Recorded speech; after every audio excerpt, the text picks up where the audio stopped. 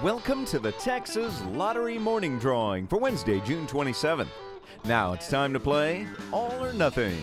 Today's All or Nothing numbers are 1, 9, number 4, 24, 5, 10, 11, 20, number 7, number 2, 3, and 13.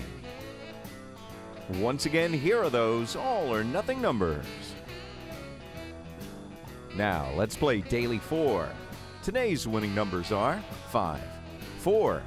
That's followed by 4 and 0. Once again, those Daily 4 numbers are 5, 4, 4, and 0. And the sum it up is 13. Now, your winning pick 3 numbers are 8. That's followed by 8 and 7. Once again, those pick three numbers are 8, 8, and 7, and the sum it up is 23. Drawings are supervised by Lottery Security and certified by DK Partners PC. Goodbye and good luck from the Texas Lottery.